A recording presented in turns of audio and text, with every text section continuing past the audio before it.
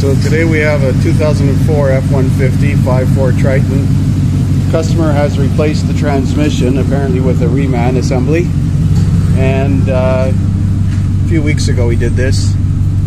We've got the overdrive cancel light flashing and check engine light on. So we're going to scan and see what kind of codes it has.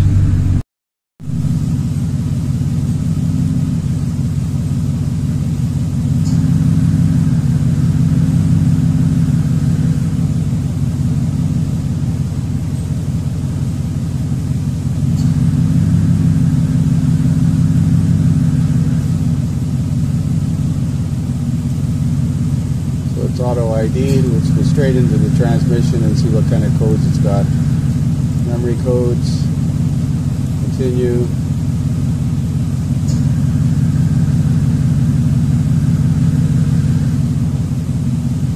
Output speed sensor, no signal.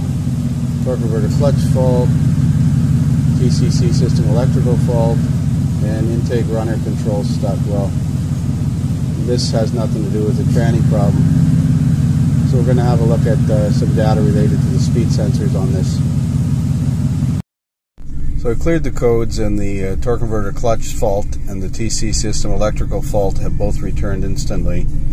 Uh, check engine light is off, but the overdrive uh, is light is flashing. These are current fault codes. So there's an electrical fault with the torque converter clutch circuit. I'm going to look at the uh, vehicle speed sensor and input output shaft speed sensor signals while we're driving.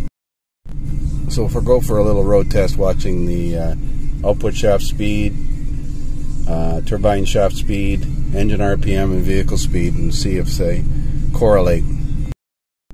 So no problems with the output shaft speed signal, transmission, or turbine speed signal, or vehicle speed signal, but the transmission is in a fault mode. Uh, it's an inhibiting overdrive. I suspect because of the active TCC circuit, so we're going to look at a schematic for that.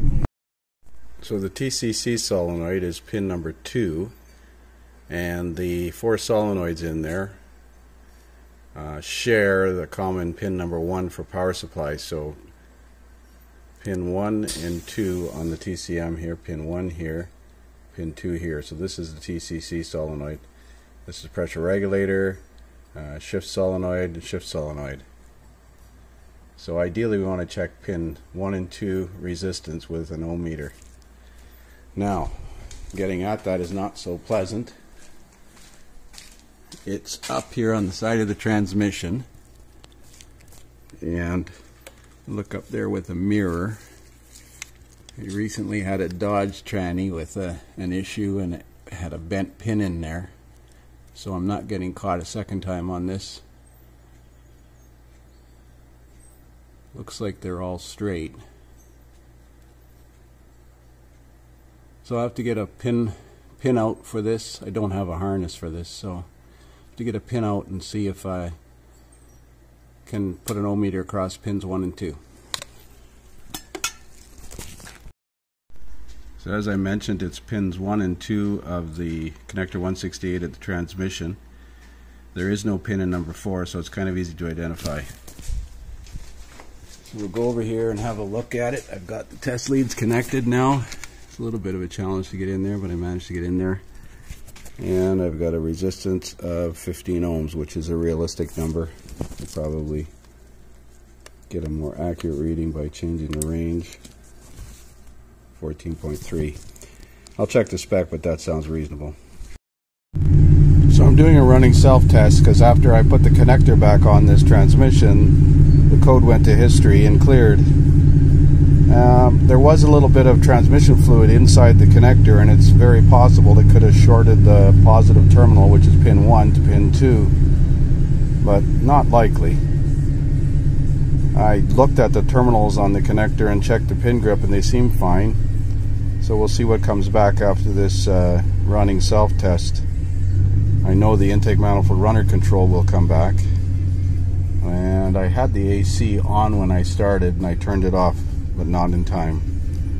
And I guess the engine wasn't up to temperature when I ran the self-test. That's interesting, it didn't set the intake manifold runner control. Well, we're going to take it for a road test now and see if the tranny works fine. So initially it was working, went about two and a half kilometers, not about two kilometers, and then all of a sudden uh, the TCI transmission light started to blink.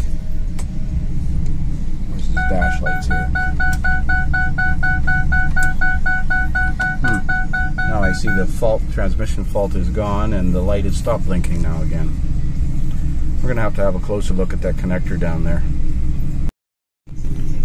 So I was hoping to use the transmission uh, functional test to command the torque converter clutch solenoid on and off, key on engine off of course, and uh, try a wiggle test on it, but I don't see that capability here in the snap-on scan tool. So fire up the MaxiSys scan tool and there's commanded gear and there's TCC solenoid 2, torque converter clutch solenoid 1, shift solenoid 1, shift solenoid 2. I don't know why there's two TCC solenoids. But we'll give it a test and see if this works. So commanding the uh, TCC solenoid on and off with the MaxiSys scan tool, I could not hear a click from it. So what I'm going to do is uh, I've identified the pins in the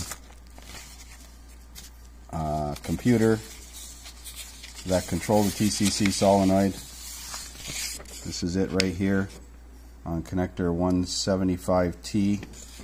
So I'm going to put an ohm meter between that pin on the computer at the PCM and connector 110 pin 2 which is the power supply circuit for that's common to all of the transmission shift solenoids. Both of those connectors are up high in the engine bay. One's on the computer and one's off right off beside it. I'm going to put an ohm meter on there, graph the resistance, which I measured earlier at 15 ohms, between basically this circuit here and this pin 36 at the control computer. And while I'm graphing the resistance, I'm going to move the wires and I'm going to see if I can find the, the intermittent break or short or open in the circuit. So connector 175T is the one closest to the engine on the trans or on the PCM and it goes to the transmission harness and I've got a pin in the face of pin 36 on 175T and connector 110 is nice and convenient up here on the uh, firewall and it also tees into that same harness and I'm in pin 2 of that connector on the uh, violet uh, white wire so I'm in this pin here and this pin here and measuring the resistance of the circuit, which we measured down below at 15 ohms, and now it's measuring 14.6, or actually I think it was 14.6. Uh, so now, while I'm graphing this resistance, I'm going to go down there and wiggle the wires and see if we can find a, an intermittent break or open in the circuit. So I'm graphing the resistance of this TCC solenoid as connected up above earlier and I'm underneath the truck now wiggling the connections on the transmission and wiggling the harness and manipulating the connector as we speak or as I speak moving the wiring harness and everything above the tranny and nothing makes a difference. So I'm starting to wonder if the problem is a loose terminal or a loose crimp inside the transmission. I wonder what happens if I tap on the bottom of the transmission oil pan. Oh, isn't that special?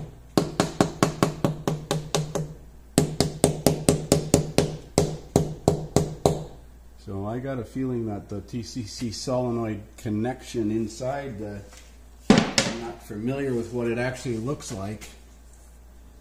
But again, wiggling the wires on top of the tranny and wiggling the wires at the connector make no difference